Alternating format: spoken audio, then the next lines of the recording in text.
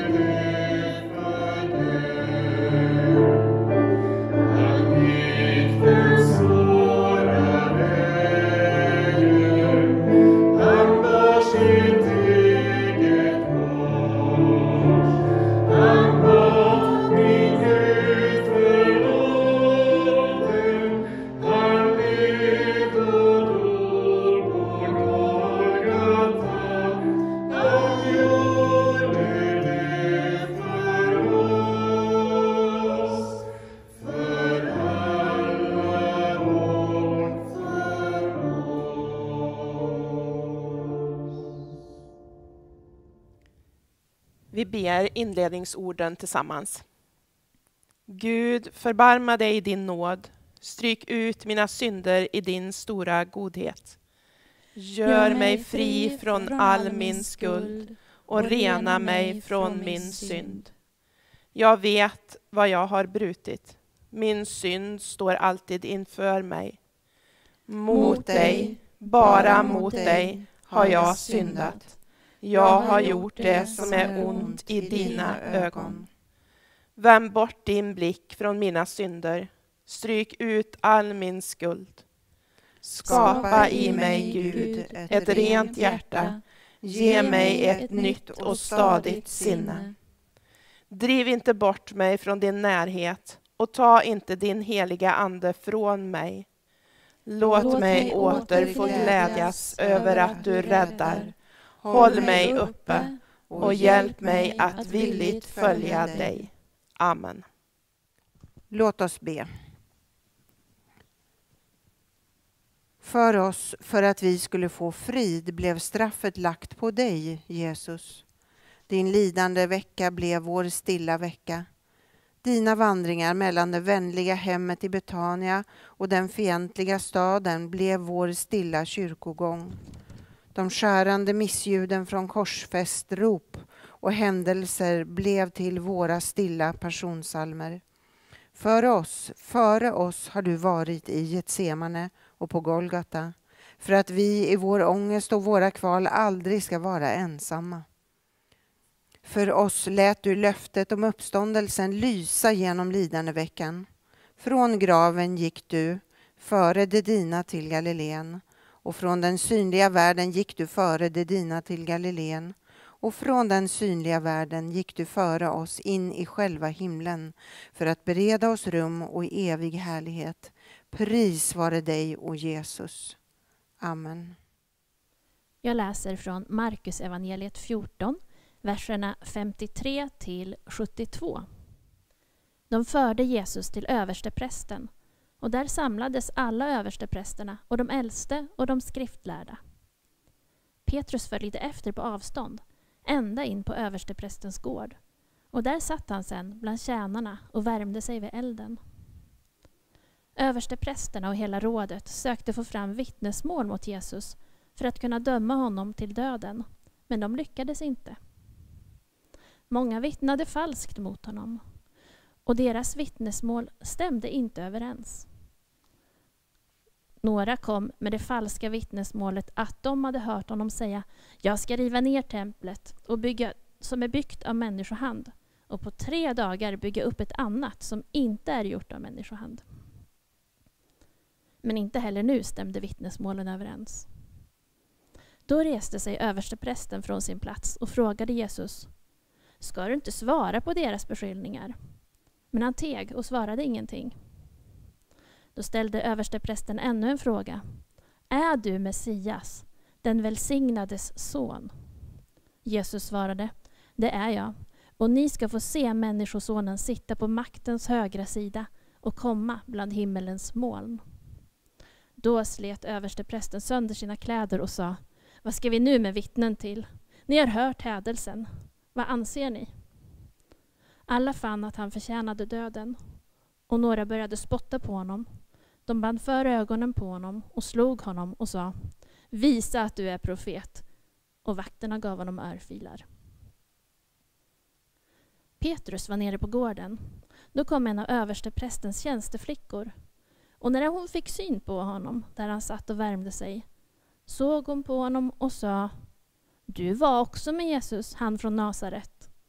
Men Petrus förnekade detta. Jag förstår inte alls vad du menar. Och han gick ut på den yttre gården. När flickan fick se honom där sa hon återigen till dem som stod i närheten, han är en av dem. Petrus förnekade det på nytt. Strax efteråt sa de som stod där till Petrus, visst är du en av dem, du är ju från Galileen. Då svor han och bedyrade, jag känner inte den mannen som ni talar om. I samma ögonblick gol tuppen för andra gången.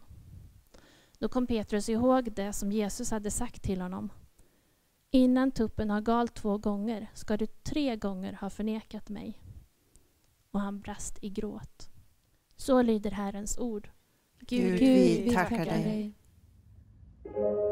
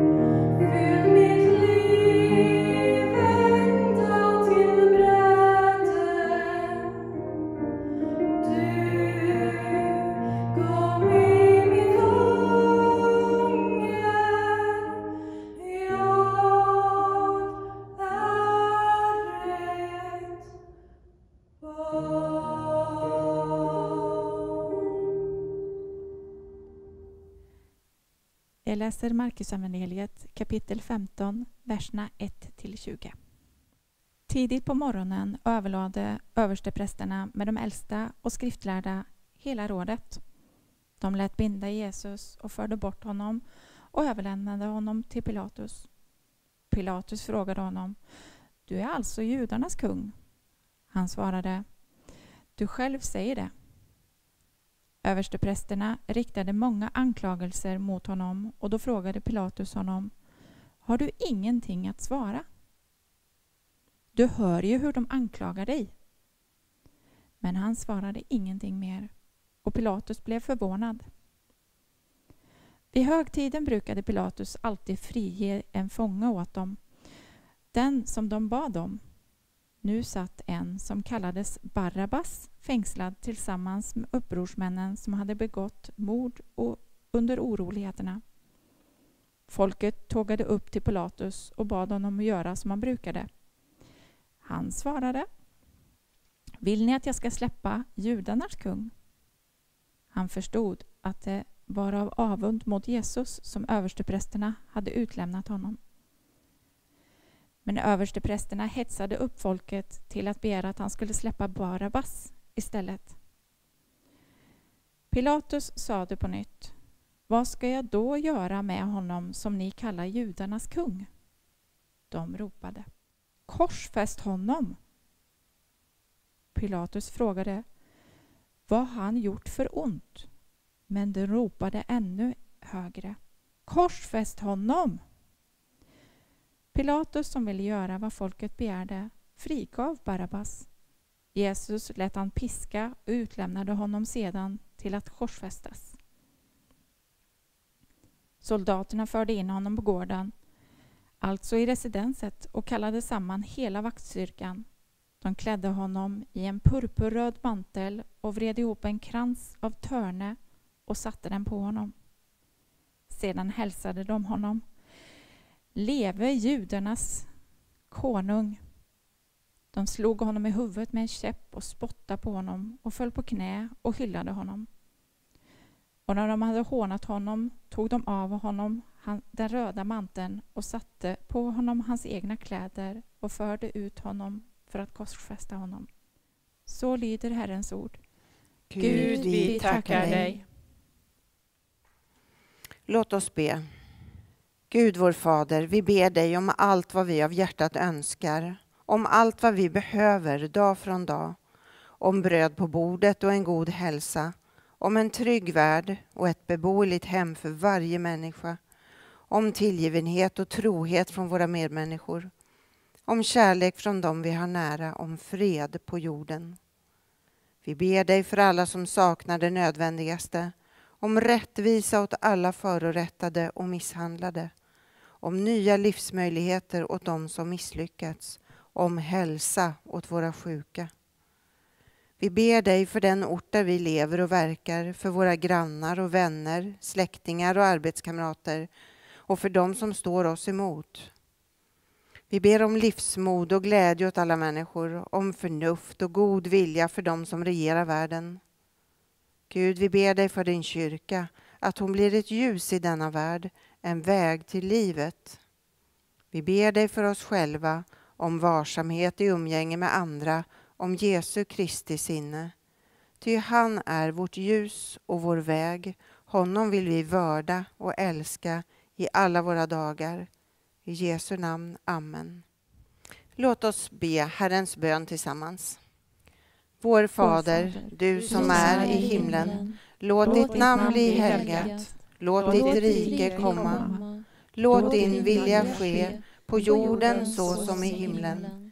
Ge oss idag det bröd vi behöver och förlåt oss våra skulder liksom vi har förlåtit dem som står i skuld till oss och utsätt oss inte för prövning, utan rädda oss från det onda. Ditt är riket, din är makten och äran i evighet. Amen. Öppna era hjärtan till Gud och ta emot Herrens välsignelse. Herren välsigne er och bevare er. Herren låter sitt ansikte lysa över er och vare er nådig. Herren vänder sitt ansikte till er och ger er sin frid. I Faderns och Sonens och den helige Andes namn. Amen. Vi avslutar med att sjunga psalm 192. Nu sjunker bullret.